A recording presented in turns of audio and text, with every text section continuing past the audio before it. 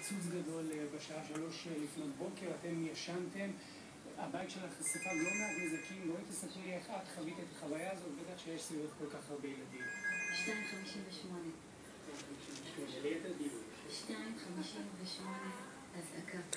ואני אומרת לעצמי, אני מכירה כבר את השעון שלנו, פחות או יותר יש כבר את השעון שיהיו אזעקות, שמספיקים לסגור את הדלת של הממ"ד, אני מסתכלת כאן, אני קולטת נקודה של אור ובום.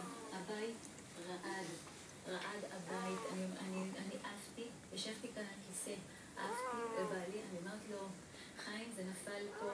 זה נפל כאן, בדרך כלל שיש את הרעשים האלה, אז אתה יודע, כשזה קרוב אתה שומע את הבום, אבל זה לא כמו פה, הבית רעד. זו הפעם הראשונה שהילדים שלי לא התעוררו. כל אזעקה, הילדים קמים. אני לא יודעת, אלוהים, אני חושבת, רצה לשמור על הילדים שלי, שלא יראו את מה שהיה בחוץ.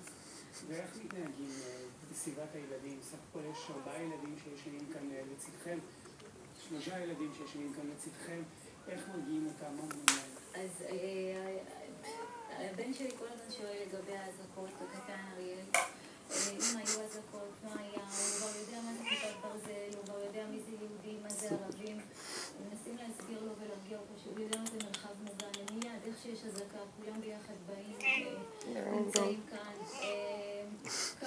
כללי זהירות ובטיחות, וכמה שיותר ככה לשמח אותם ולהראה אותם ככה חברה ולעשות מסביב לשעון, כדי שלא, כמה שפחות לטשטש את המציאות, ולעזור, להיות שם בשבילם. Тебе прет? אז נספר שכשנכנסנו לכאן לדירה ראינו את אריאל, הקטן הזה שיושב פה לידי. בחדר Работаем на הזה, камеру, את работаем. הזכוכיות מהמיטה